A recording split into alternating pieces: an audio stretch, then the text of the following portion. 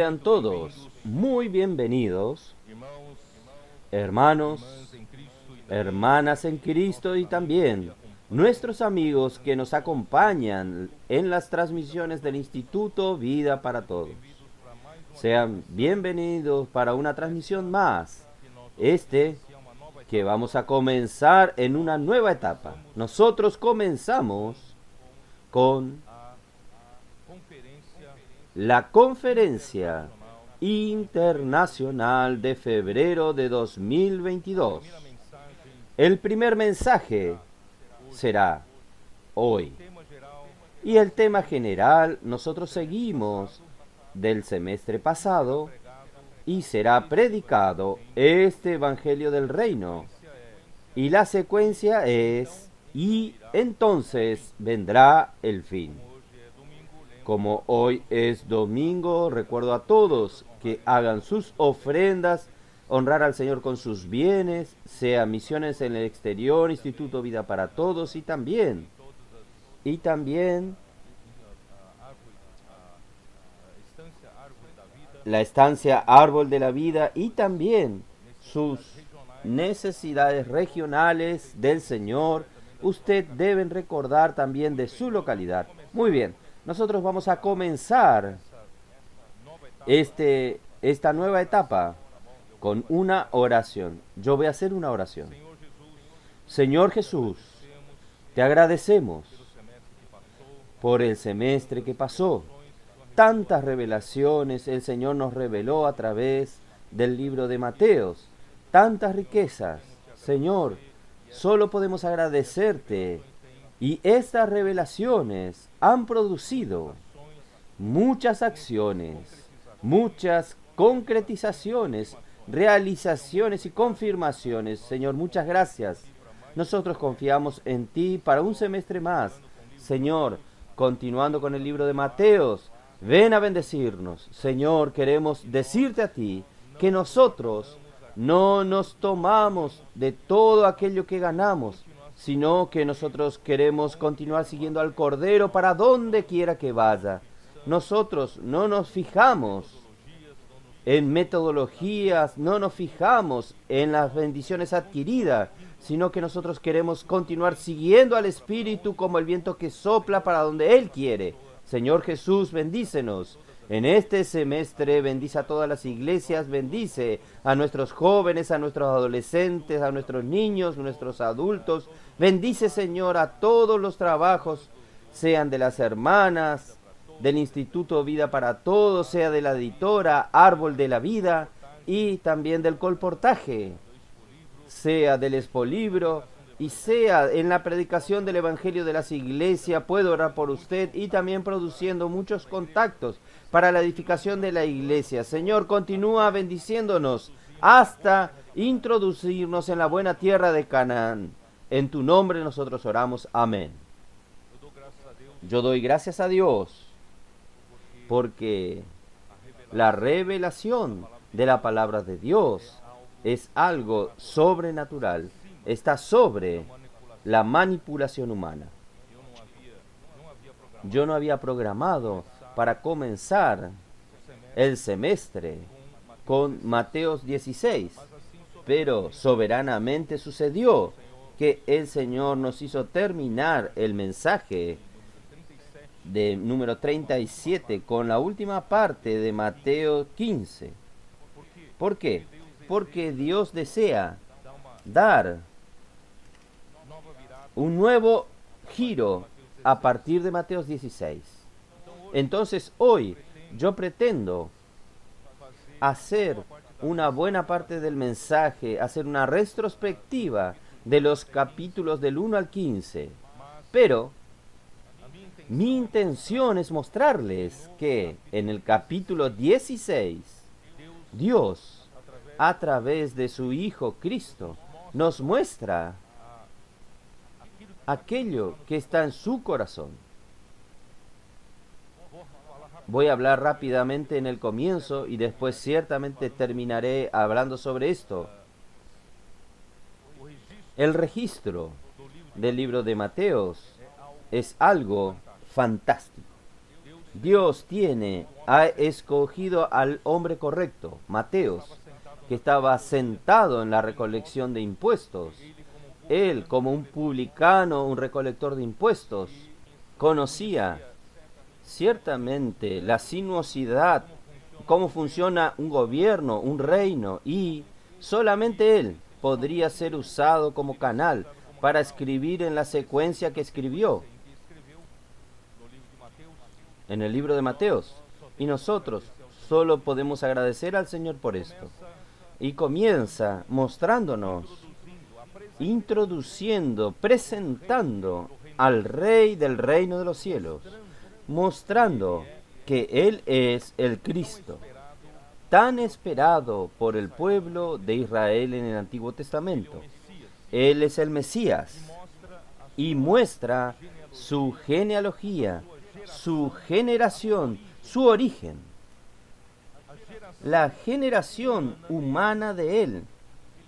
Él vino de la descendencia de David. Él es el hijo de David. Y el hijo de David es un término usado por los judíos en el Antiguo Testamento para Mesías que habría de venir. Y él, de hecho, él es el hijo de David para heredar para siempre el trono de David. Y también nos muestra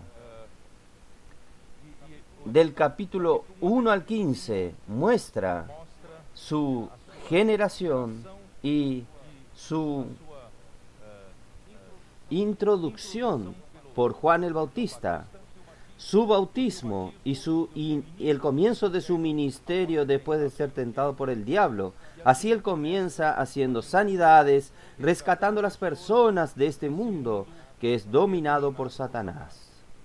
Y Él llama a los doce, envía a los doce como apóstoles para la predicación del Evangelio del Reino, que es la única manera de salvar a este mundo. Y Él también continúa con muchas revelaciones hasta llegar al capítulo 15 de Mateos. Yo voy a hacer una retrospectiva de aquí a poco. Pero hasta entonces, él consigue ganar a los miembros que serán introducidos en el reino de los cielos. Son individuos con espíritu humilde, quebrantado, contrito, que pudieron entrar por la puerta de la bienaventuranza de la primera bienaventuranza los pobres en espíritu, porque de ellos es el reino de los cielos. Entonces el Señor a través del trabajo del capítulo 1 hasta el capítulo 15, Él consigue ganar individuos, individuos, individuos en los que Él puede trabajar en su corazón, donde Él puede hacer su habitación en los corazones de estos individuos. Sin embargo, a partir del capítulo 16, Él muestra algo mucho mayor, una preocupación mayor, que es la revelación de la iglesia. Él dio descanso para los que trabajan para Él del capítulo 1 al 15, pero Él no tuvo lugar de descanso. Dios necesita dar a Cristo un lugar de descanso. Este lugar de descanso es la iglesia y la iglesia edificada. Yo voy a mostrarles esto con más, de, con más detalle a partir de este semestre. Entonces, nosotros comenzamos con el gran, el gran cambio. Mi preocupación es de que de todas las riquezas que nosotros ganamos hasta ahora, de todos los milagros que el Señor hizo en medio nuestro hasta ahora. Las operaciones del Espíritu han sido grandiosas entre nosotros. Sin embargo, no debemos tomarnos de todas estas bendiciones, sino continuar siguiendo al Espíritu. Él quiere hacernos un, cambio, una curva y nosotros vamos a seguir al Espíritu. Para donde quiera que Él va, nosotros vamos a seguir al Espíritu, seguir al Cordero. Muy bien, entonces voy a hacer una retrospectiva rápidamente a partir del capítulo 1. Entonces, en Mateos capítulo 1 y 2 comienza la presentación del origen de Cristo como el Rey del reino de los cielos. Este mundo fue usurpado por Satanás, que introdujo el pecado en el hombre a través de la caída en el jardín de Edén, y el hombre, a partir de entonces, perdió la presencia de Dios, fue corrompido por el pecado y por la muerte, y el hombre perdió todo aquello que Dios, el propósito por el cual Dios creó al hombre. Por eso Dios envió a su propio Hijo, Cristo, para nuevamente establecer su gobierno aquí en la tierra. Y su gobierno aquí en la tierra, por el reino de los cielos, es por la iglesia. Y el rey del reino de los cielos es Cristo. Entonces, Cristo fue presentado en los capítulos 1 y 2, su genealogía, mostrando que él viene de la descendencia de David. Sus detalles nos no, no, vamos a entrar porque ya hablamos sobre esto. Su nacimiento, hermanos, él nació de una manera diferente de cualquier otro hombre. Cualquier otro hombre es nacido de, de la unión entre el hombre y la mujer, pero Jesús nació de una mujer. Gálatas, Gálatas 4, vamos a abrir nuestra Biblia en Gálatas 4:4, 4, que dice lo siguiente.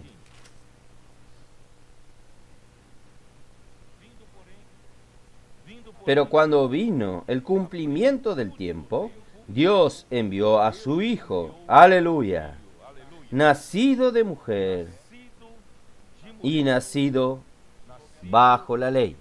Él nació bajo la ley y él nació de una mujer, María. Mateos capítulo 1 versículo 18.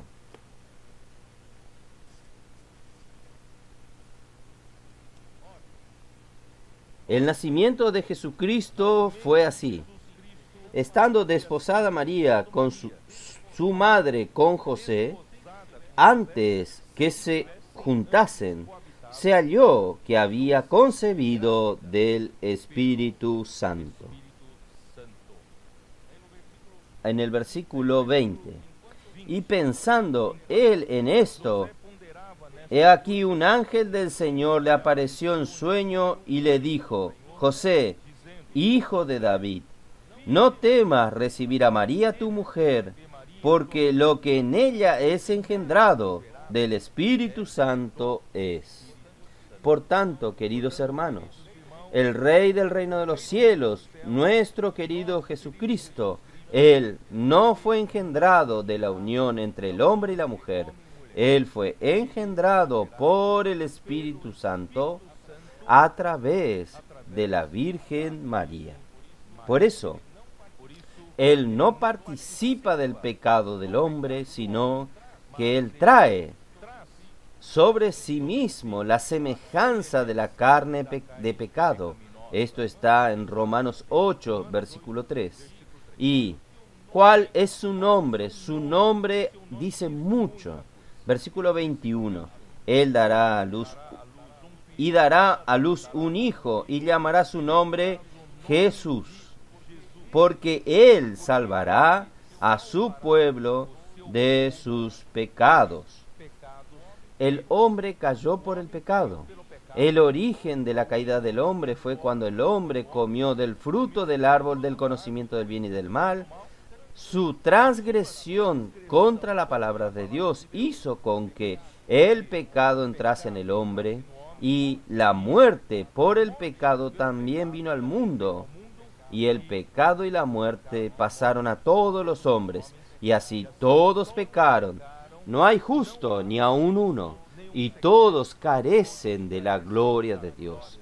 Pero gracias a Dios, Dios envió a su Hijo, Jesucristo, nacido de mujer.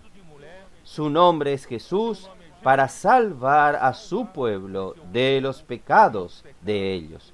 Por tanto, hermanos, nosotros vino la salvación, vino el Evangelio, vino la buena nueva al hombre.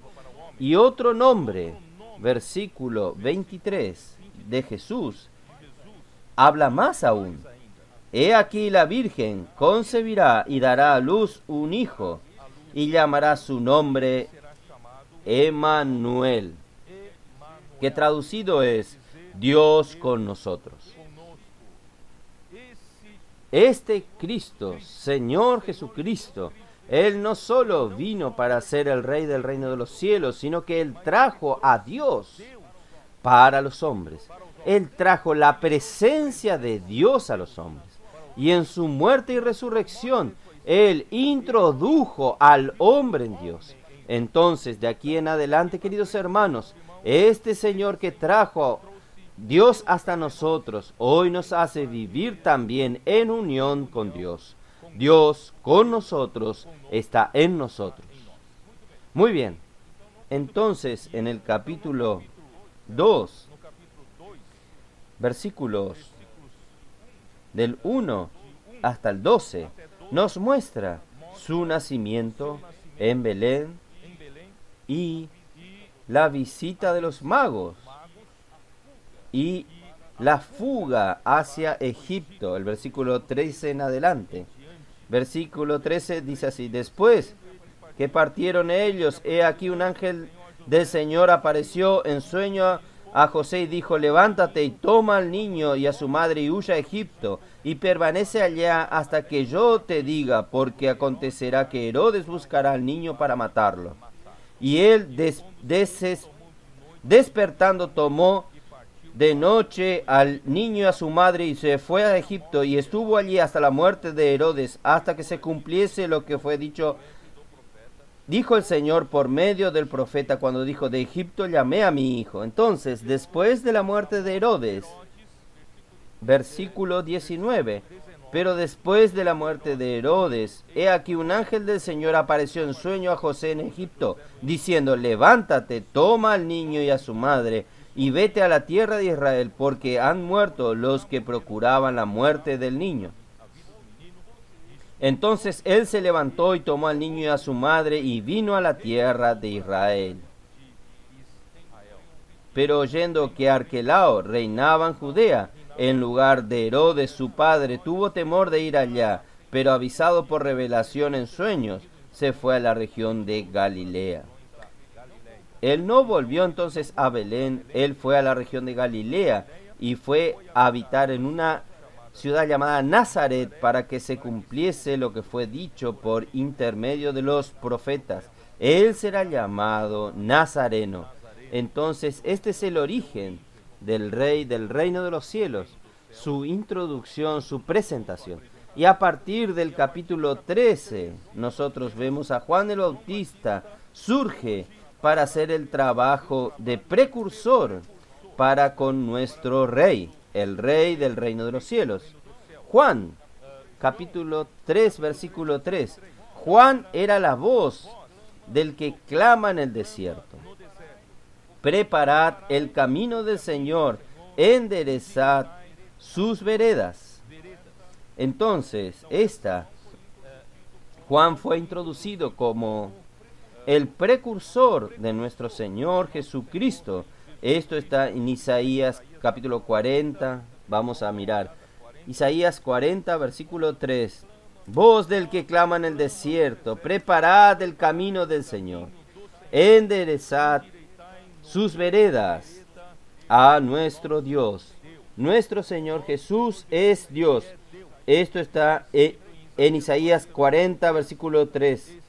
Juan el Bautista fue incumbido, su misión era enderezar el camino para introducir al rey del reino de los cielos. Por eso él estaba predicando en el capítulo 3, versículo 1. En aquellos días vino Juan el Bautista predicando en el desierto de Judea y diciendo, arrepentíos, porque el reino de los cielos se ha acercado. Así surge la figura de Juan el Bautista. Y Juan el Bautista, él, él da testimonio de Cristo. Capítulo 3, versículo 11. Yo a la verdad os bautizo en agua para arrepentimiento, pero el que viene tras mí, cuyo calzado no soy digno de llevar, es más poderoso que yo. Él os bautizará en Espíritu Santo y fuego. Entonces él sabía que él, que su papel era de introducir al Rey del reino de los cielos, al Mesías, al Cristo. Entonces, cuando llega al bautismo, en el versículo 13, entonces Jesús vino a, de Galilea a Juan al Jordán para ser bautizado por él. Mas Juan se le oponía diciendo, yo necesito ser bautizado por ti y tú vienes a mí. Entonces, pero Jesús le respondió, deja ahora, porque así conviene que, se, que cumplamos toda justicia. Entonces le dejó. Realmente Juan el Bautista, él estaba cumpliendo órdenes. Él necesitaba cumplir la determinación el Dios, de Dios el Padre. Dios quería que Jesús como hombre fuese bautizado y él fue encargado para bautizar a Jesús. Entonces así cumplió toda justicia, toda la determinación de Dios. Y Jesús después de que fue bautizado subió luego del agua y aquí los cielos le fueron abiertos y vio. Aquí está sin sujeto, el sujeto oculto es Juan el Bautista. Juan vio al Espíritu de Dios que descendía como paloma y venía sobre él. Hermanos, esto es muy importante. Nos muestra que Juan es testigo ocular de lo que sucedió en el bautismo de Jesús. Juan vio al Espíritu de Dios descender como paloma, venía sobre él, y oyó aún una voz, y hubo una voz del cielo que decía, Este es mi Hijo amado, en quien tengo complacencia. Por tanto, él no tenía disculpa para dudar de que Jesús era el Cristo. Y Juan, en el Evangelio de Juan capítulo 1, Juan capítulo 1.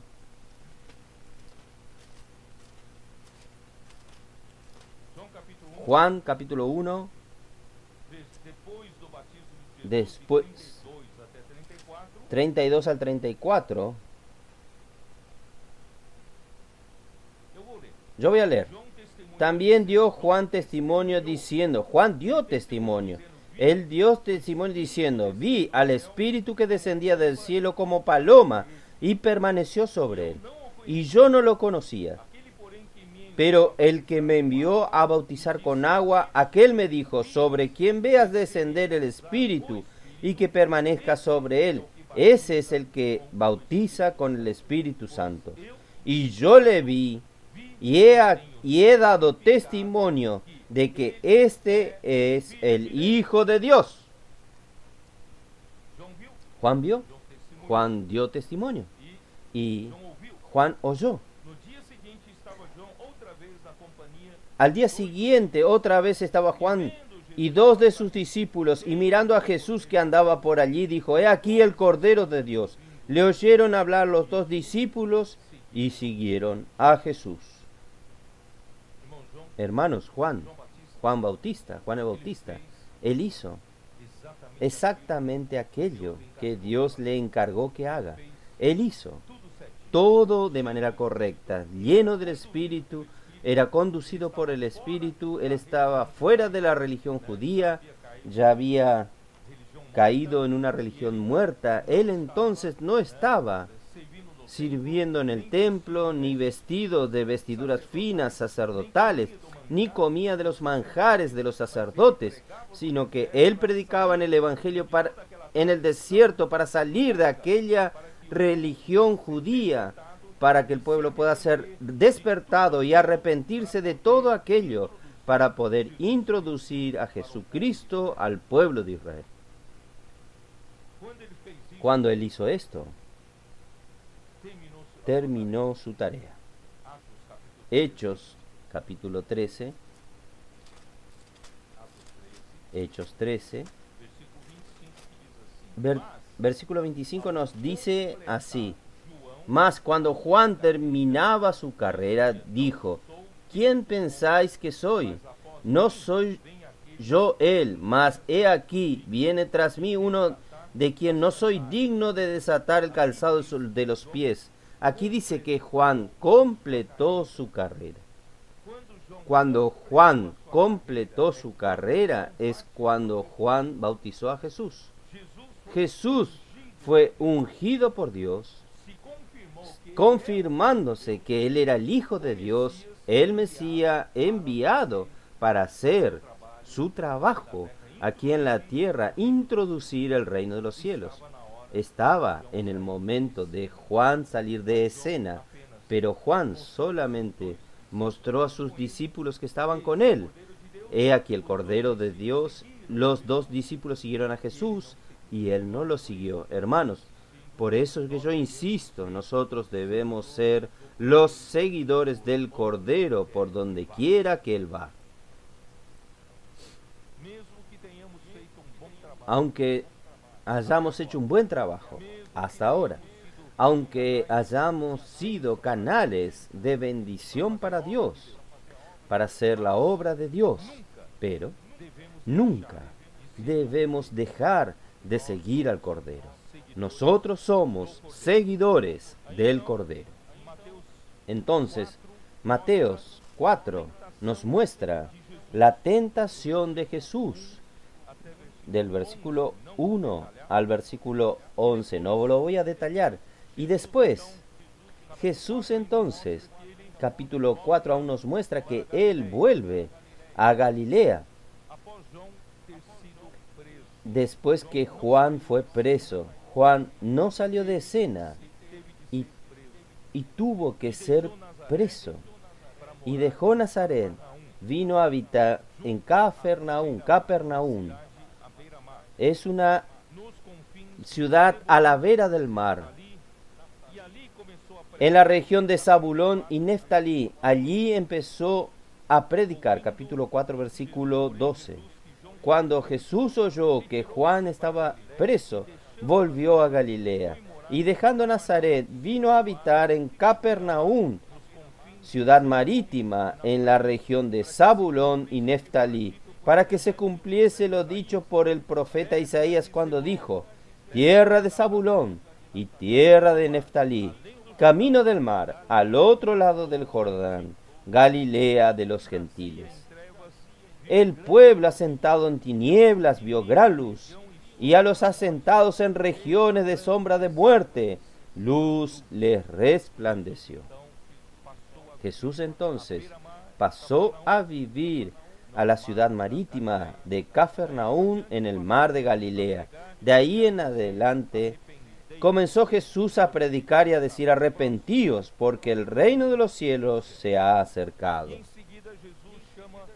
Andando Je- enseguida Jesús llama a cuatro de sus principales discípulos, del 18 al 22. Él llamó a Simón Pedro, a Andrés, y él también llamó a Santiago, Zebedeo y Juan, su hermano, los cuatro principales. Eh, ahí el versículo 23, Jesús como el rey del reino de los cielos, desesperado para salvar al pueblo de debajo del yugo de, de Satanás, él comienza ya su trabajo mostrando su preocupación. Versículo 23. Y recurría a Jesús toda Galilea, enseñando en la sinagoga de ellos y predicando el evangelio del reino y sanando toda enfermedad y toda dolencia en el pueblo. Queridos hermanos, aquí nos muestra que la situación caótica del mundo, la situación caótica en que el hombre cayó, solo hay una solución. La única solución, queridos hermanos, es el reino de los cielos. Cuando el hombre desobedeció a Dios, él salió de la presencia de Dios, él salió del gobierno de Dios. Cuando no hay gobierno de Dios, las cosas entran en un desorden. La confusión, la corrupción, comienzan a operar en la sociedad humana. Y lo que, lo que se encontraba en la tierra en el tiempo de Jesús eran personas enfermas, personas enfermas, y hoy no es diferente. Por tanto, hermanos, nosotros necesitamos tener esto en mente. La única cosa que puede salvar a este mundo, hermanos, es introducir el reino de los cielos aquí en la tierra. Introducir el gobierno celestial aquí entre los hombres. Y el reino de los cielos, hermanos, es introducido por medio de la iglesia. ¿Y quién introduce todo esto, el Evangelio del Reino, es nuestro querido Señor Jesucristo que vino para este trabajo. Y Él pasa de ahí, Él pasa a sanar todas las enfermedades y expulsar a los demonios y también sanar a los paralíticos. Entonces, su fama comenzó a recorrer aquella región. Y a partir de del capítulo 5 hasta el capítulo 7 de Mateos comienza lo que nosotros consideramos como la constitución del reino de los cielos. Esto quiere decir la ley magna de este reino, que gobierna este reino. Yo diría que son las leyes de la vida que rigen al pueblo. El pueblo que está bajo el gobierno celestial. Entonces Jesús vino aquí en la tierra para convocar a un pueblo, para salvar, rescatar a un pueblo, para que Él pueda ser el rey del reino de los cielos y comenzar el gobierno celestial a partir de estas personas. Y estas personas después en Mateo 16 forman la iglesia. Bienaventurados o felices son los que viven en el reino de los cielos. Y el primer requisito para entrar en el reino de los cielos es bienaventurados los pobres en espíritus o humildes en espíritu, porque de ellos es el reino de los cielos. Entonces, si nosotros queremos pasar a ser gobernados por el gobierno celestial, hermanos, necesitamos que apuntar a la primera cosa es que si nosotros estamos con el espíritu vacío, con el espíritu humilde, un espíritu contrito, o estamos llenos de nosotros mismos, confiamos en nuestra propia fuerza, confiamos en nuestra capacidad de nuestra carne, nosotros de esa manera jamás entraremos en el reino de los cielos. Por tanto, queridos hermanos, este es el camino para entrar. Vamos a entrar por el Espíritu, con un Espíritu, como dice en Isaías 57. Voy a leer, sí. Repetir esto nunca está de más. Isaías 57, en la versión King James actualizada. Vamos a ver. Versículo 14 y, dirás, allanad, allanad, barred el camino, quitad los tropiezos del camino de mi pueblo. Hermanos, ¿entendieron? El Señor quiere remover los obstáculos para que su pueblo pueda encontrar el camino. Hermanos, el reino de los cielos es el camino. Es el camino. Porque así dijo el alto y sublime, el que habita la eternidad y cuyo nombre es el santo. En la versión Ferrera de Almeida dice, es aquel que vive la eternidad o en la eternidad. Él no está sujeto al tiempo y al espacio, a esta dimensión material en que nosotros vivimos, él está en la eternidad, Él es lo, el alto, el sublime, Él es el que vive para siempre. Quien está en la eternidad, el tiempo no pasa. Quien vive en la eternidad, vive para siempre, y cuyo nombre es santo. Yo habito en la altura y la santidad, y, y con el quebrantado y humilde de espíritu con el quebrantado y humilde de espíritu. ¿Quién está con un espíritu quebrantado y humilde? Él también habita con usted. Para hacer vivir el espíritu de los humildes y para vivificar el corazón de los quebrantados. ¿Por qué quebrantado de corazón y un corazón arrepentido? Porque nosotros vivimos en este mundo. El hombre pasó por una caída y el pecado entró en el hombre. El hombre pasó a depender del conocimiento del bien y del mal para vivir y no más depender de Dios para vivir. Por tanto, el hombre necesita arrepentirse de confiar tanto en sí mismo, confiar en esta capacidad que este árbol del, del conocimiento del bien y del mal dio para el hombre y contaminó toda la humanidad. El hombre necesita volver a la simplicidad, volver al jardín de Edén en aquella dependencia total al Señor. Un espíritu contrito, humilde y un corazón quebrantado y arrepentido. Y también Oh Señor Jesús.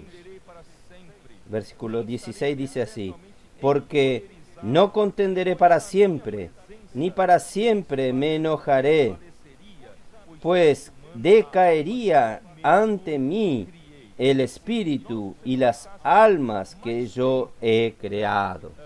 Quiere decir, si nuestro Señor Jesús quedase más tiempo indignado con nosotros, con este mundo que está totalmente bajo la maldición y corrupción, hermanos, nosotros no tendríamos más esperanza.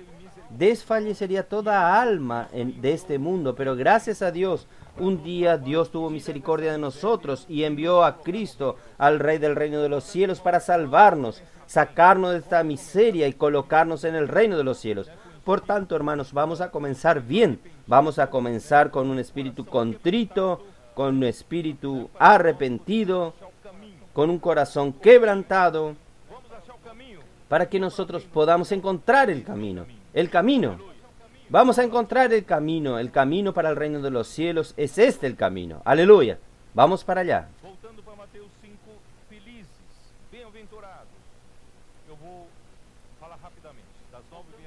Volviendo a Mateo 5.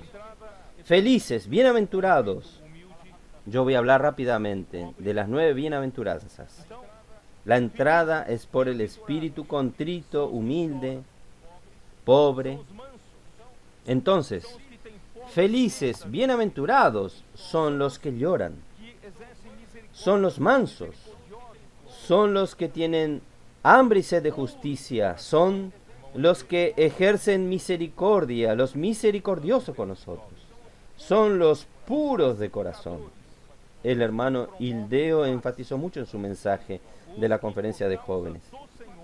Los pacificadores, los que promueven paz, los que por causa del Señor, perdón, los que son perseguidos por causa de la justicia y los que por causa del Señor son injuriados, perseguidos, porque grande es el galardón de estos en el cielo hermanos, a partir del capítulo 5 de Mateos comienza a entrar la cuestión de galardón. Hermanos, muchos pueden ser llamados, pero pocos serán los escogidos. Y el Rey del reino de los cielos viene a llamar, viene a llamarnos para ser los escogidos, para ganar el galardón. Nosotros queremos ser los vencedores. Por eso, hermanos, de entre la apariencia del reino de los cielos existe la iglesia que vive en la realidad del reino de los cielos. Y quien vive en la realidad del reino de los cielos, él es restringido por estas condiciones de las nueve bienaventuranzas. Y estos que viven restringidos por estas condiciones, requisitos de las nueve bienaventuranzas, ellos tendrán un grande galardón en los cielos. Amén. Oh Señor Jesús, ahí continuando, Mateos 5, 6 y 7, vamos a pasar porque no tengo mucho tiempo para quedarme allí. Y hermanos, Mateo 8 y 9, el Señor comienza a efectuar diversas sanidades, curas, con su autoridad como Rey del reino de los cielos. Él muestra su autoridad, solo estoy haciendo un resumen, Él muestra su autoridad sobre los vientos y el mar, hasta el viento. Los vientos y el mar le obedecen a Él, sobre los demonios. El llamamiento de Mateo sucede en este periodo y Él no pierde tiempo en predicar el Evangelio del Reino. Aquí está en el capítulo 9. ¿No es así? Capítulo 9, versículo 35. Recorría Jesús todas las ciudades y aldeas, enseñando en la sinagoga de ellos y predicando el Evangelio del reino y sanando toda enfermedad y todas dolencias en el pueblo. Y al ver las multitudes tuvo compasión de ellas, porque estaban desamparadas y dispersas como ovejas que no tienen pastor. Hermanos, enseguida el rey ya muestra aquí a qué vino. Él vino para salvar al pueblo que está en las ciudades, en las aldeas, el pueblo que está en las calles. Él enseguida salió a las calles. No solamente enseñó en las sinagogas, él predicó el Evangelio del reino, mostrando que el reino celestial, la salvación del hombre, del pueblo, y sanando todas enfermedades. Hermanos, estas enfermedades no son solamente enfermedades físicas, son principalmente enfermedades psicológicas, enfermedades por estar lejos del gobierno celestial, de la presencia de Dios. Nosotros caemos en toda suerte de enfermedades, de problemas emocionales, psicológicos y espirituales. No hay no había cuando Jesús estaba aquí en la tierra, no había felicidad, no había alegría, no había, no había realmente nadie sano. Pero él vino preocupado con esto y predicó el Evangelio del reino y viendo a las multitudes se compadeció de ellas. Queridos hermanos, este es nuestro ejemplo. El rey nos dio el ejemplo. Necesitamos aprender a tener empatía a compadecernos con esta situación en las calles. No diga, esto no tiene nada que ver contigo. No, nosotros estamos aquí en la tierra siguiendo a nuestro rey justamente para salvar a este pueblo que está en las calles sufriendo. Aquí él dice, él vio que ellos son como ovejas que no tienen pastor. ¿Por qué? Todas las personas estaban afligidas, angustiadas, sufriendo sin saber cuál es la solución. No saben por qué estaban sufriendo todo aquello y estaban cansadas, estaban agotadas, hermanos. Hoy es exactamente esta situación que hay en el mundo. Nosotros necesitamos tener este espíritu de compasión que nuestro rey tuvo cuando estuvo aquí en la tierra. Hermanos, hoy Él habita en nosotros. Por eso, hermanos, cuando nosotros, los colportores, van a las calles, no es con otra intención, sino por amor al Señor y por amor a las personas. Cuando nuestros hermanos y hermanas en las iglesias están saliendo para predicar el Evangelio usando el puedo orar por usted, también no es por otra intención, sino seguir la orden de Jesús, amando a Jesús y amando estas almas que están perdidas, sufriendo están cansadas. Oh Señor Jesús. Entonces el Señor Jesús habló a sus discípulos, versículo 37 y 38. A la verdad las mieses muchas, mas los obreros son pocos. Solo el rey del reino de los cielos, predicar este evangelio del reino no era suficiente. No atiende a la necesidad. Entonces él pidió a sus discípulos, rogad pues al Señor de la mies, que es Dios, que envíe obreros a su mies. Hermanos, gracias al Señor, hoy Dios está convocando a usted La mies es tan grande, tan grande que usted hace falta. Entonces vamos a, a atender esta convocación, vamos a atender este llamamiento del Señor, vamos a trabajar en la mies y rescatar a las personas como ovejas que están como ovejas que no tienen pastor, están afligidas, desesperadas. Hermanos, vamos a salvar a estas personas. Entonces, enseguida en el capítulo 10 comienza, él llama entonces a los doce discípulos para comenzar este trabajo, porque hasta entonces era solo él que predicaba el Evangelio. Ahora él estaba instruyendo a los doce, llamó a los doce y también envió a los doce como doce apóstoles. Apóstoles es cuando usted envía, gracias a Dios, los doce apóstoles fueron enviados para ampliar este trabajo de la predicación del Evangelio del Reino.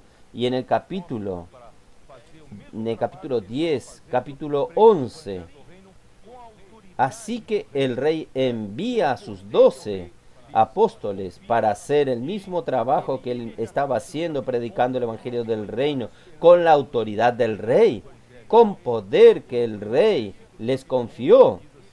Y él inmediatamente en el capítulo 11, él no quedó en la casa esperando a los doce que prediquen el Evangelio. Enseguida, en el primer capítulo del en el primer versículo del capítulo 11, dice así, cuando Jesús terminó de dar instrucciones a sus doce discípulos, se fue de allí a enseñar y predicar en las ciudades de ellos. Hermanos, esto tiene esta urgencia en el corazón de Jesús. Tiene que contagiarnos en nuestro corazón. No podemos estar en casas cómodos. Vamos, hermanos, a predicar el Evangelio toda vez que tengamos oportunidad. Tenemos el colportaje por hora, el colportaje por oportunidades Podemos en el día a día, en nuestro vivir, predicar el Evangelio, orar con las personas. No necesita especialmente un tiempo especial para predicar el Evangelio. En las calles, usted teniendo contacto con las personas, ya predica el Evangelio. Entonces, enseguida, hermanos, viene la situación de Juan el Bautista. Y Juan el Bautista fue de la cárcel envió discípulos a preguntarle a Jesús, ¿eres tú el que iba a venir? ¿O debemos esperar a otros? Quiere decir, es un absurdo para alguien que dio testimonio que al salir de las aguas del bautismo, él vio al Espíritu que descendía sobre Jesús como una paloma y la voz que decía, este es mi Hijo amado en quien tengo complacencia. Era un absurdo la pregunta que él hacía a Jesús. Esta por causa de esto, hermanos, yo me quedé preocupado, estuve preocupado para que nosotros nunca nos acomodemos. Aunque hagamos grandes cosas para Dios, siendo usados como canales para Dios, como estos cuatro o cinco años, hemos sido gran usado, grandemente usados por Dios a través del colportaje dinámico, a, del avanza joven, a través de las mujeres conectadas, a través de la red de cuidado de la iglesia, a través del trabajo de recibir a los contactos y hacerlos vivir la vida de la iglesia. Hermanos, sin embargo, no vamos a apegarnos a estas bendiciones que ya ocurrieron en medio nuestro y estar y quedarnos en el tiempo. Nada puede ser apegado para que nos detengamos en el tiempo. No, necesitamos continuar siguiendo al Señor con un corazón contrito, con un corazón humilde y con el mismo desespero, hermanos, de antes. Hoy, antes de venir aquí a hablarles, yo estaba conversando con uno de los cooperadores de una región que está yendo con viento a favor. El SEAPE funciona, los colportores están funcionando, la iglesia está funcionando, números, personas siendo agregadas en las iglesias, todo está bien. Y yo le dije a este cooperador, es justamente cuando todo está bien, ahí está el peligro. Tenga cuidado, le dije a él, vamos a continuar con el mismo desespero amando, dedicando nuestro amor reverente para con la palabra que sale de la boca de Dios. Nosotros continuamos a depender de toda la palabra que sale de la boca de Dios para, dar el paso siguiente. Nosotros no nos agarramos de la experiencia pasada. Nosotros tenemos que seguir, vamos a seguir. Y por eso, hermanos, aquí dice, versículo capítulo 11. Entre los nacidos de mujer, no, pero el mayor en el reino de los cielos es mayor que Juan. Hermanos, realmente, de entre todos los profetas del Antiguo Testamento, todos profetizaron de una cosa, solamente de una sola cosa, con relación a Cristo. Juan el Bautista era mayor de entre todos los profetas porque él introdujo a Cristo. Él no solo profetizó, sino que él introdujo a Cristo. Pero infelizmente, él podría haber sido uno del reino de los cielos. Hermanos, ¿entienden lo que Jesús estaba queriendo decirles? Él podría haber seguido al Cordero juntamente con sus dos discípulos al día siguiente del bautismo de Jesús. Hermanos, él estaría en el reino de los cielos. Él habría sido el mayor profeta del Antiguo Testamento y habría sido uno del reino de los cielos. Pero infelizmente esto no sucedió. Es una luz esto, hermanos, para, para nuestra reflexión, para que nosotros siempre tengamos cuidado, nunca apegarnos al suceso. Tengan cuidado con el suceso. A veces la derrota es mejor que el suceso. Las derrotas nos hacen arrepentirnos, las derrotas nos hacen humildes, nos hacen, crean un corazón de desespero, de búsqueda al Señor. Pero el suceso nos hace ser orgullosos. Vamos a tener cuidado con los sucesos. Señor Jesús. Desde los días de Juan el Bautista hasta ahora, el reino de los cielos sufre violencia, los violentos lo arrebatan. Difícilmente yo entendía esto, pero hoy yo quiero decirles a ustedes, este esfuerzo es humillarnos, es nosotros ser los de espíritu contrito, los de espíritu humilde. Esto es el esfuerzo que debemos hacer cada vez que hay sucesos, que hay una tendencia de orgullo que surja en nosotros. Nosotros tenemos que tener el esfuerzo para volver a la simplicidad, a la humildad. Es así que nosotros nos apoderamos del reino de los cielos. Espero que ustedes concuerden conmigo en esta mi interpretación. Y a partir del capítulo 12 nos muestra el clímax de la oposición de los líderes judíos y Jesús entonces le dice a ellos que un árbol, árbol malo puede producir solo frutos malos la señal de Jonás es la única señal que ellos pedían que Jesús la única señal que voy a darles, dijo Jesús, es de Jonás. Esta es la mayor señal de todos los tiempos, porque la señal de Jonás es aquel que es la señal en que Jesús Cristo murió por los pecadores y él resucitó para producir su iglesia, la realidad del reino de los cielos finalmente es establecido, establecida. Por eso, hermanos, yo doy gracias a Dios que el Señor nos dio, no dio otra señal, sino la señal de Jonás. Y en el capítulo, y al final del capítulo, déjenme ver aquí. Entonces, al final del capítulo 12, Él muestra su enfoque. Miren, versículo 50 porque todo aquel que hace la voluntad de mi Padre que está en los cielos, ese es mi hermano y hermana y madre. Nuestro Señor Jesucristo, Él fue enviado. Él es un ungido de Dios para hacer que, para establecer el reino de Dios aquí en la tierra. Entonces Él vino con este único objetivo, enfocado en hacer la obra, hacer la voluntad de Dios hasta su relación natural, su relación de parentesco con su madre, con sus hermanos, con sus hermanas, hermanos. son es secundario a, al enfoque de él de hacer la voluntad de Dios. Entonces hoy es lo mismo. Hoy, hermanos, no piense que el Señor, Él va a ser complaciente con esto, con aquello. Nuestro Señor está enfocado en hacer la voluntad de Dios. Y nosotros debemos estar enfocados de la misma manera en hacer la voluntad de Dios. Muy bien, porque la voluntad de Dios es que venga su reino. Es Mateo 6, vamos a ver. Mateo 6, 9 y 10. Vosotros oraréis así.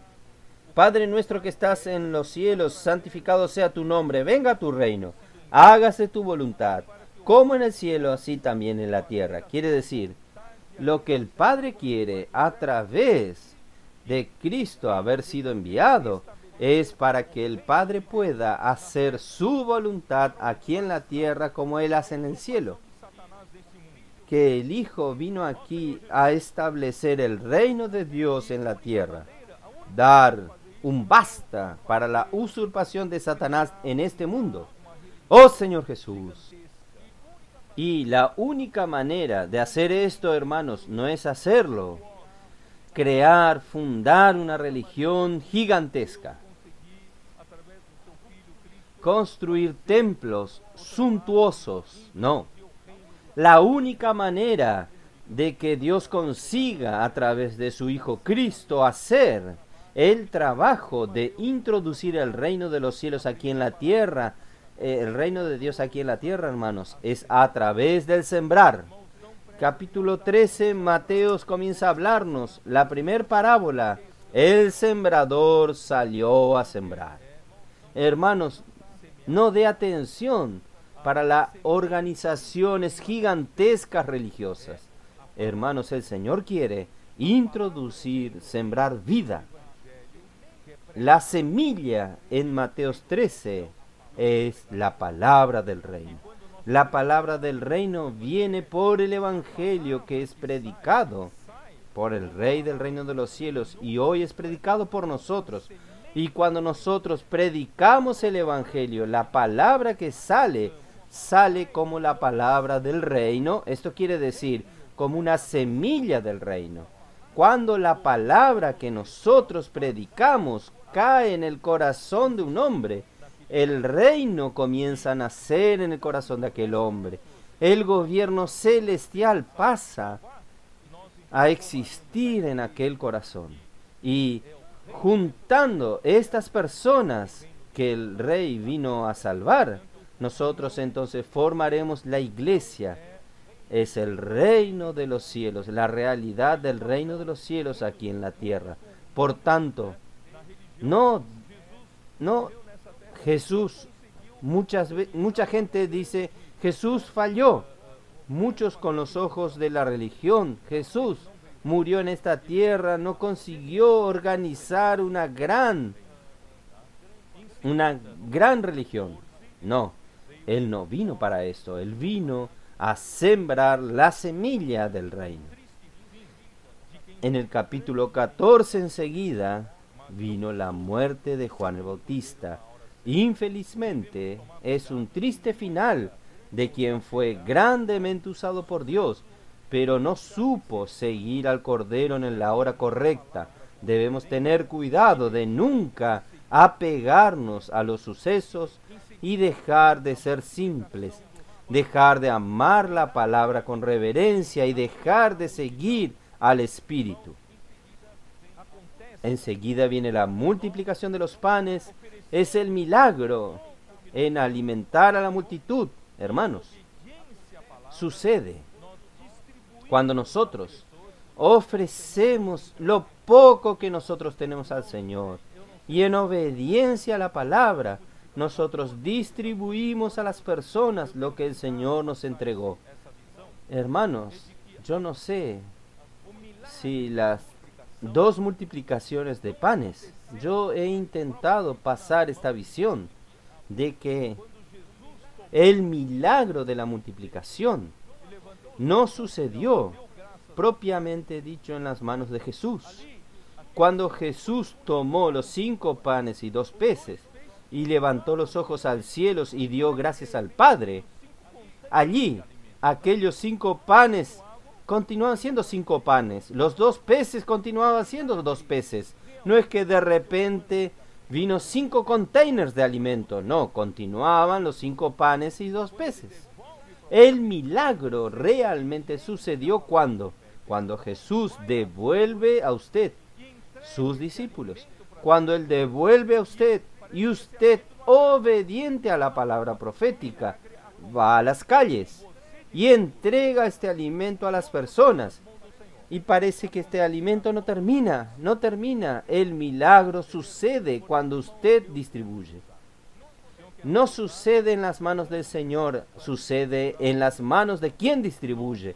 Los hermanos entendieron. Por tanto, hermanos, Dios quiere usarnos. El Señor quiere usarnos para multiplicar los panes, para atender a la multitud. Nosotros somos un pequeño rebaño, una manada pequeña. Tenemos pocas fuerzas, somos pequeños en número. No tenemos gran poder político ni económico.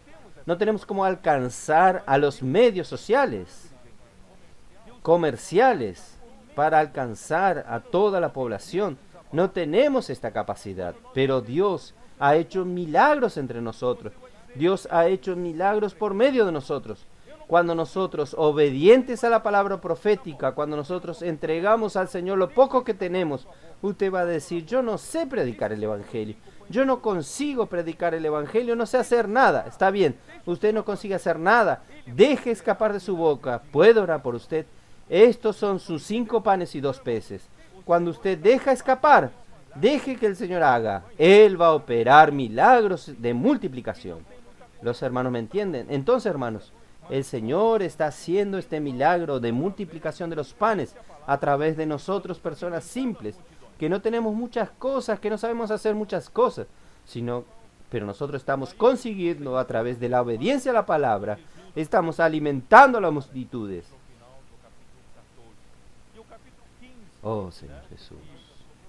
Ahí el Señor anda sobre el mar y Jesús cura en Genezaret. Este es al final del capítulo 14 y el capítulo 15 que nosotros hablamos, los dos últimos mensajes del semestre pasado, los fariseos y escribas que ya hacían la oposición a Jesús, conspirando en matarlo, y ahora ellos vinieron de su centro religioso, Jerusalén, para acusar a los discípulos de Jesús que transgrieden la tradición de los ancianos por no lavarse las manos antes de comer. Hermanos, nosotros no estamos aquí promoviendo para que los hermanos no se laven sus manos antes de comer. Esto no tiene nada que ver. Esta es una cuestión de higiene. Debemos lavarnos las manos antes de comer, pero no por seguir la tradición de los ancianos. No sé si ustedes entendieron. El problema aquí está en los líderes judíos. Ellos acusaban que los discípulos de Jesús no seguían las tradiciones de los ancianos. ¿Qué es la tradición de los ancianos, hermanos? Moisés recibió de Dios la palabra registrada en los cinco libros primeros de la Biblia, el Pentateuco. Esto es considerado como el Torá para los judíos, el Torá escrito de Moisés. Pero a lo largo de los siglos, como la nación de Israel es una nación que tiene por sus leyes las leyes que Dios dio, entonces ellos necesitaron resolver muchas situaciones para juzgar las situaciones del día a día del pueblo. Entonces los magistrados, que eran los rabinos, ellos entonces tenían que aplicar la ley del Pentateuco en diversas situaciones. Y así ellos fueron creando varias jurisprudencias que registradas a lo largo del tiempo se tornó la tradición de los ancianos. No sé si los hermanos entienden. Entonces, en esta tradición de los ancianos hay muchas cosas de los hombres, muchas enseñanzas de los hombres, muchas interpretaciones humanas. El Pentateuco no, el Pentateuco es original, viene de parte de Dios. Entonces, la tradición de los ancianos termina invalidando la misma ley. Jesús entonces le dijo, ustedes invalidan la ley cuando la ley dice, honrarás a tu padre y a tu madre. Y ustedes dicen, pero si yo doy mis bienes, consagro mis bienes al templo, yo estoy libre de cuidar de mis padres. ¿Y cuando? ¿Sabe qué sucede? Cuando mis padres mueren, yo no tengo obligación de cuidarlos con mis bienes a mis padres. Cuando les mueren, yo voy al templo a negociar con los escribas. Ah, yo te entregué esto, ahora quiero de regreso. Y los escribas negocian para ellos, tanto por ciento vuelve al templo y el resto vuelve a él. Así funciona. Ellos invalidaban según sus propios intereses la ley de Dios. Por tanto, hermanos, no se puede confiar en meramente las interpretaciones humanas. Nosotros tenemos siempre que volver al texto bíblico, siempre volver a la palabra, siempre volver a la Biblia. Allí está nuestra guía, allí están nuestros caminos. Entonces, hermano, bueno, continuar entonces.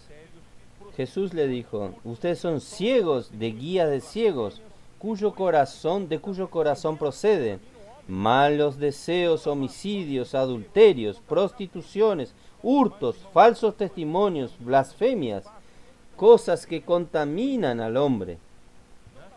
Pero al comer las manos sin lavarse puede contaminar físicamente, pero de hecho estas cosas contaminan el interior del hombre. Entonces al final Jesús, como el pan del cielo, enviado para la casa de Israel, él fue rechazado por Israel y él terminó saliendo de la mesa de la casa de Israel. La mesa, hermanos, se refería a la tierra de Canaán él salió de la mesa, fue hasta Tiro y Sidón. Tiro y Sidón, hermanos, allí están los fenicios. Ya no son más, ahí está más próximo del Líbano de hoy. Él salió de la mesa y la mujer cananea pidió que su parte para que Jesús la sanase, hermanos. Gracias a Dios este principio hizo con que la bendición viniese para los gentiles. Y hoy nosotros ganamos la gracia por el rechazo de los principales líderes de los judíos. No que los judíos no puedan creer en Jesús hoy, pero en general por el liderazgo religioso, ellos rechazan a Jesús. Pero hermanos, nosotros hoy abrazamos a Jesús, abrazamos al Evangelio y es nuestra responsabilidad hoy, hermanos, hasta completar la plenitud de los gentiles. Nosotros tenemos que predicar el Evangelio, introducir el reino de los cielos aquí en la tierra.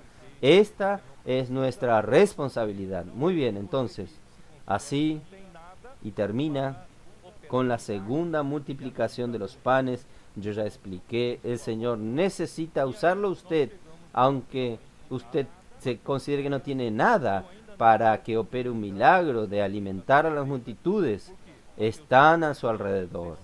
Y llegamos finalmente a Mateos 16.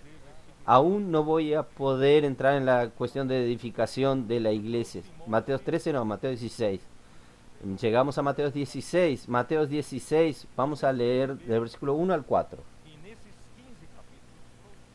Vinieron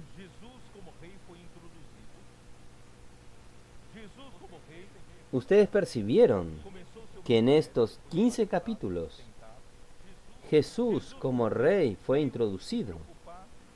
Jesús como rey comenzó su ministerio después de ser bautizado y tentado. Jesús como rey vino a preocuparse con el pueblo, con los hombres en las calles, predicando el Evangelio del Reino. Jesús como el rey se preocupó en rescatar a las personas, convocar a los trabajadores para esta mies tan grande. Y nosotros entendemos, hermanos, que todos los que entraron por la puerta del espíritu humilde para el reino de los cielos, se tornó. Yo me, olvidé hablar de trabajar en el descanso. Estos que entraron por esta puerta aprendieron con Jesús a servir en el descanso, porque tomaron el yugo del Señor para servir, porque quien hace la obra es Dios.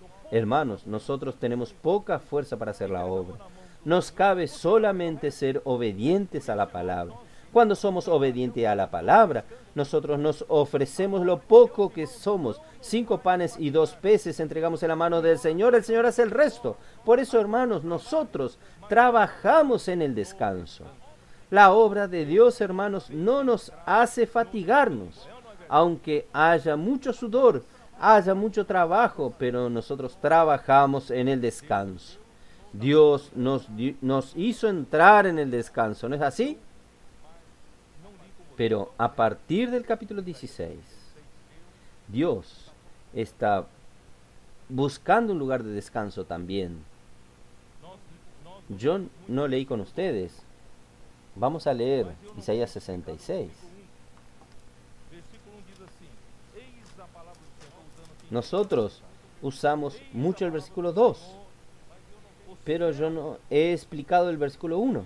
Versículo 1 dice así, Jehová estoy usando la quinceña actualizada. Jehová dijo así, el cielo es mi trono, es mi trono, es mi trono, perdón. El cielo es mi trono y la tierra estrado de mis pies. ¿Dónde está la casa que me habéis de edificar? ¿Y dónde el lugar de mi reposo? No sé si los hermanos entendieron este versículo. Nuestro Señor vino aquí en la tierra para rescatarnos, para hacernos entrar en el descanso y cooperar con Él y continuar este trabajo de la predicación del Evangelio del Reino. Entonces nosotros encontramos el descanso, nosotros trabajamos en el descanso, porque Él es quien está haciendo todo. ¿No es así? Pero nosotros no podemos olvidarnos que Él también está buscando un lugar de descanso. El capítulo 16 da este cambio. Jesús está buscando este lugar de descanso. Este lugar de descanso, hermanos, no es ninguna casa. Yo no voy. Este mensaje no es no tiene como objeto esto, objetivo esto. Pero recuerden que el rey David dijo que él quería edificar una casa para él. Y Dios le respondió, desde yo saqué el pueblo de Egipto, nunca moré ninguna casa. Yo anduve de tienda en tienda, nunca le pedí una casa para mí. ¿Los hermanos entienden? Él necesita de una casa para su descanso. Pero esta casa que él necesita no es una casa física, material. El templo del Antiguo Testamento es una sombra de la habitación de Dios en el Espíritu. Dios hoy necesita de una iglesia edificada para que Él pueda habitar en ella. ¿Los hermanos entienden? Entonces, hasta el capítulo 15, hermanos, Él vino aquí para cuidar de nosotros. Vino a rescatarnos, vino a sanarnos, vino a sacarnos de la situación miserable y nos colocó en su obra, colocó para trabajar en el descanso y a partir del capítulo 16, hermanos, Él nos muestra que entonces yo necesito revelar algo a ustedes. Yo necesito también de un lugar de descanso. Este lugar de descanso es la iglesia edificada. Por eso que en el versículo 2 dice así, mas él respondió y le dijo, no fue, mi mano hizo todas las cosas y así todas las cosas que fueron. Yo no necesito una casa suntuosa. Nosotros somos. Nos fuimos a esta, eh, esta vez a Europa, vimos que en la Edad Media edificaron templos y más templos para Dios, un templo más suntuoso para el otro. Tenía una altura de 40 metros de altura, la torre, aquella cosa que usted entra y queda pequeño dentro de ella. Hermanos, ¿usted cree que Dios quiere habitar en una casa así? Dios quiere habitar en la iglesia. Dios quiere habitar en usted. Por eso Él dice así, daré, miraré a aquel que es pobre y humilde en espíritu. Quiere decir, este humilde arrepentido de espíritu es que da lugar para que yo descanse y que dedica su amor reverente a mi palabra. Quiere decir, mi palabra tiene este lugar, la primacía para hacer la obra de Dios. Entonces, este es el lugar donde yo descanso. ¿Los hermanos entienden? Entonces, a partir de este mensaje, nosotros vamos a comenzar a adentrarnos en esto. Pero antes, yo quiero mostrarles a ustedes aquí los primeros cuatro versículos. Vinieron los fariseos y los saduceos para tentarle. Le pidieron que les mostrase señales del cielo. Mas él le respondió, le dijo, cuando anochece, decid, buen tiempo porque los cielos tienen arreboles. Quiere decir, cuando al atardecer el cielo está anaranjado, rojo, por causa del poner del sol, la puesta del sol. Entonces, cuando usted ve el cielo anaranjado, usted ve que el cielo está limpio. Quiere decir que el cielo está, que va a ser buen tiempo. Pero si llega de mañana, y por la mañana, hoy habrá tempestad, porque tiene arreboles el cielo nublado. Quiere decir, si de mañana sucede un cielo rojizo, nublado, con nubes, hermanos, habrá tempestad. Hipócritas que sabéis discernir los aspectos del cielo, más las señales de los tiempos no podéis. La generación mala y adúltera demanda señal, pero no pero señal no le será dada, sino la señal del profeta Jonás. Y dejándolo se fue.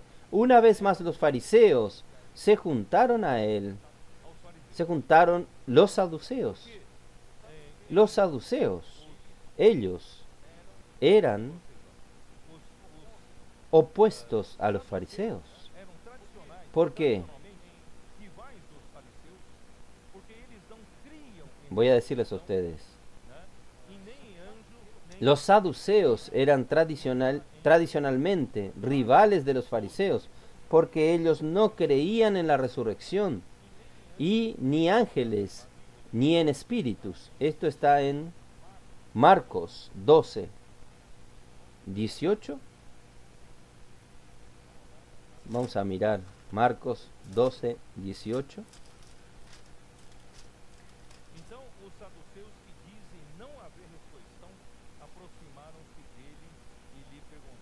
Es así, ¿no? Vamos a mirar.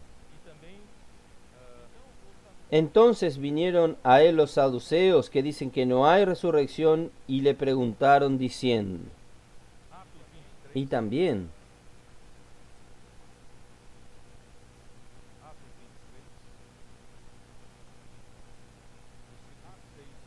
Hechos 23.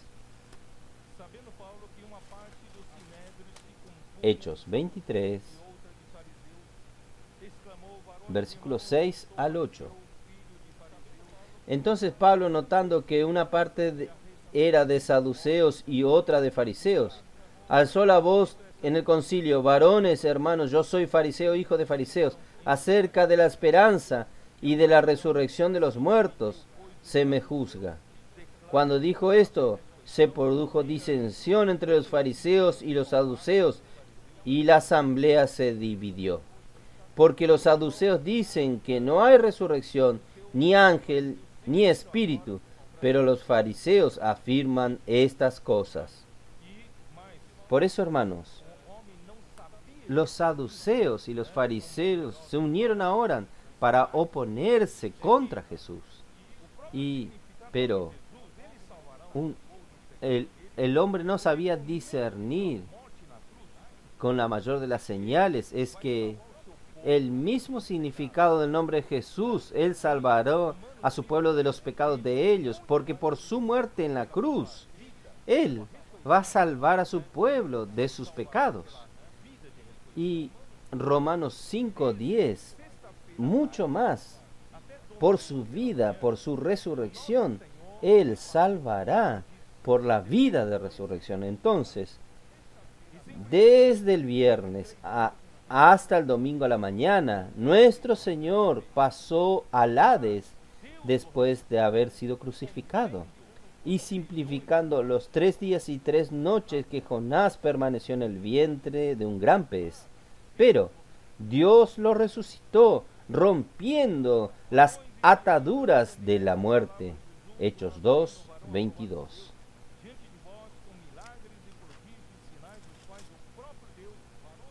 Varones israelitas, oíd estas palabras. Jesús Nazareno, varón aprobado por Dios, entre nosotros con los maravillas, prodigios y señales que Dios hizo entre vosotros por medio de él, como vosotros mismos sabéis. A este entregado por el determinado consejo y anticipado conocimiento de Dios, prendisteis y matasteis por manos de inicuos, crucificándole, al cual Dios levantó suelto los dolores de la muerte, por cuanto era imposible que fuese retenido por ella.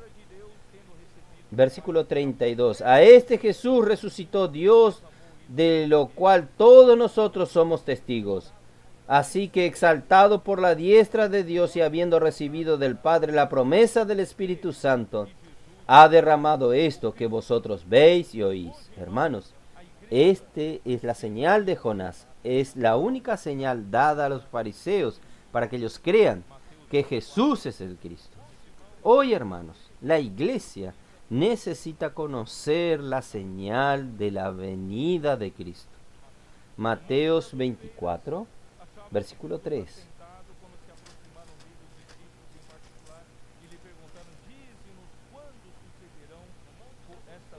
En el monte de los olivos estaba Jesús sentado los discípulos se le acercaron aparte diciendo, Dinos, ¿cuándo serán estas cosas? ¿Y qué señales habrá de tu venida y del fin del siglo? Respondió Jesús, le dijo, habló de todas las señales que suceden, pero él termina en el versículo 14, y será predicado este Evangelio del reino en todo el mundo para testimonio a todas las naciones, y entonces vendrá el fin, que es el tema general de esta conferencia. Entonces vendrá el fin. Hermanos, esta es la señal. Y la señal, hermanos, es de la parábola de la higuera. 24:32. De la higuera aprended la parábola. Cuando ya su rama está tierna y brota las hojas, sabéis que el verano está cerca. Así también vosotros, cuando veáis todas estas cosas, conoced que está cerca a las puertas. Yo no voy a leer todo. Dos mil años atrás, el pueblo de Israel no percibió que Jesucristo era el verdadero Mesías. Hicieron oposición a él y lo crucificaron y lo hicieron morir en la cruz. Aún anunciado por Dios con antecedencia por medio de los profetas. Ellos no pudieron evitar la tragedia de la destrucción del templo y la destrucción de Jerusalén en el año 70. Y en el primer siglo ellos perdieron su nación. Ellos perdieron la nación por casi dos mil años. Anduvieron como peregrinos de nación en nación, viviendo en la dispersación como extranjeros en países ajenos y extraños, y siempre bajo muchas persecuciones y mucha discriminación, porque ellos han, habían rechazado a Cristo. Solamente, hermanos, en la Segunda Guerra Mundial, bajo, bajo el, el régimen de Hitler, 6 millones de judíos perdieron la vida. Pero en 1948, fue milagrosamente restaurada la nación de Israel bajo mucha oposición y luchas. Hoy, hermanos, sus ramas están brotando, ya se renuevan y las hojas ya brotan. Hermanos, debemos saber que el verano está próximo. El factor determinante para que el fin llegue aún depende de la iglesia, que predique el Evangelio del reino en todo el mundo para testimonio a todas las naciones. Entonces vendrá el fin. Por tanto, hermanos, yo quiero terminar este mensaje diciendo lo siguiente.